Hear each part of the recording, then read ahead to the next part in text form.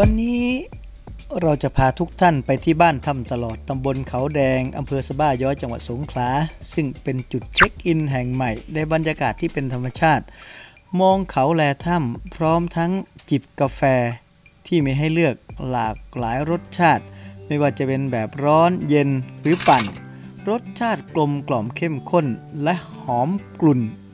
เป็นจุดขายในการนำไปพัฒนาเป็นแหล่งท่องเที่ยว ที่นักท่องเที่ยวจะต้องแวะมาชิมกาแฟพร้อมบรรยากาศชิลๆ คุณจิรวัตรนุ่นศรีประธานกลุ่มวิสาหกิจชุมชนกาแฟดำถ้ำคอก บอกกับเราว่ากาแฟดำถ้ำคอกเป็นกาแฟที่มีอายุมากกว่า 300 ปี โดยมีต้นพันธุ์โบราณอยู่ที่ถ้ำคอก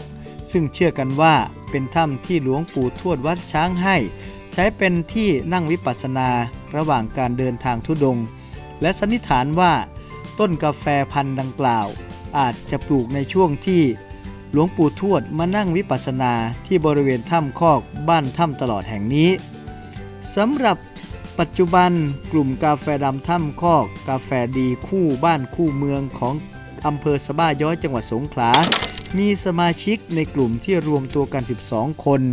ปลูกต้นกาแฟถ้ำคอก ซึ่งเป็นกาแฟพื้นเมืองของอำเภอสะบ้าย้อย เพื่อนำมาสร้างให้เป็นจุดเช็คอิน จุดขาย ที่จะดึงดูดนักท่องเที่ยวทั้งชาวไทยและต่างประเทศ เข้ามาท่องเที่ยวเยี่ยมชม และอุดหนุนกาแฟดำถ้ำคอก เพื่อเป็นการกระจายรายได้ให้คนในชุมชนสำหรับผู้ที่สนใจที่จะเข้ามาชิมกาแฟดำถ้ำคอก ในราคาที่เป็นกันเอง ก็สามารถติดต่อสอบถามมาได้ที่ โทรศัพท์ 084-398-586 ขอบคุณข้อมูลดีๆ จากคุณอัคคพงศ์บุญชีพ ทีมงานสำนักงงานประชาสัมพันธ์จังหวัดสงขลาครับ